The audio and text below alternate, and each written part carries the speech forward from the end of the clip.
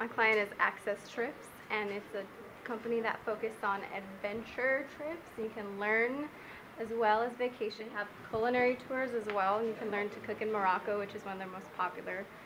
They also have skiing, snowboarding, rafting, biking, pretty much anything that you can think of. And we've been asked to focus on their social media. So for their social media campaign, we want to get in touch with their fans. They've got about 1,500 fans right now. Um, we want to get them informed of the communities that they're going to be going to, talk about some of the special things going on within their community, uh, bring them up to speed as far as the um, the skilled learning environment, as far as mountain biking, cooking, like Sarah was saying, skiing. Um, we want to increase the amount of fans that they have by increasing the number of posts, pictures, and making an interactive website for their fans. Um, we plan to do that over about three months, and um, at this point, we're going to be presenting her with the campaign that she can implement down the road, and we hope that uh, we see some great results.